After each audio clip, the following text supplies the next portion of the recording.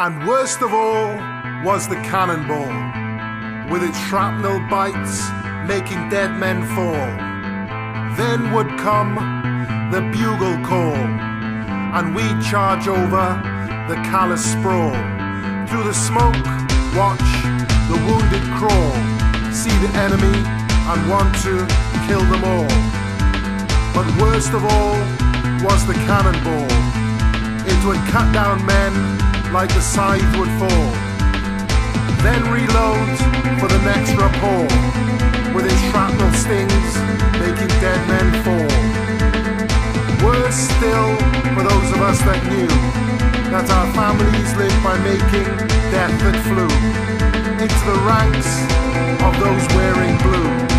Cannons don't distinguish nation or hue.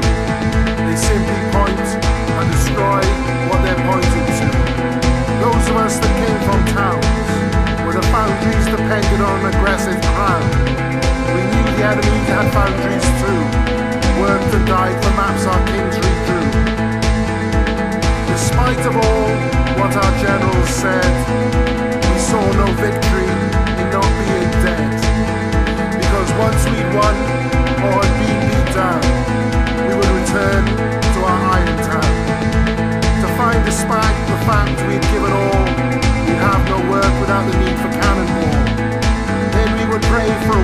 war to live, and in doing so,